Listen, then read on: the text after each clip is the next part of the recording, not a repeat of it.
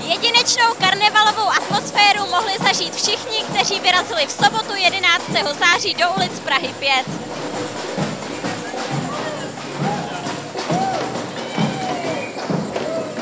S městskou částí Praha 5 pořádáme multikulturní setkání lidí, kteří na Praze 5 žijí.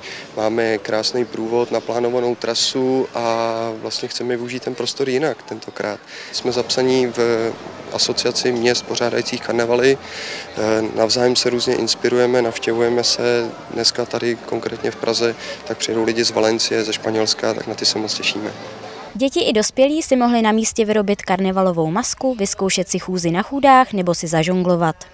Máme tady tam tam batukáda orchestr, což jsou vlastně latinskoamerické rytmy, máme alegorické vozy a budeme tam mít asi 25 obrovských loutek, který vlastně nemáte možnost normálně ve volném prostoru vidět, většinou bývají součástí nějakých instalací. Karnevalový průvod, ve kterém nechyběli tanečníci, žongléři, bubeníci a chůdaři, zahájil místo starosta městské části Praha 5 Michal Šesták.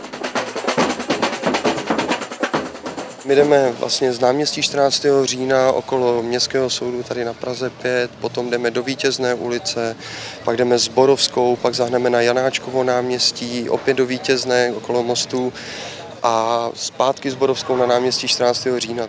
V cíli čekali na nejoriginálnější masky ceny, které věnovala městská část Praha 5.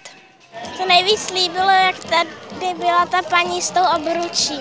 Všechno se mi líbilo, všechno bylo to super, nádherný. Nám se nejvíc líbila kapela s bubnama, byla perfektní, bylo to skvělý, děkujeme. Já jsem tady na karnevalu poprvé a je to super, hrozně se mi to líbilo a příští rok přijdu znovu asi. Karnaval, pojdu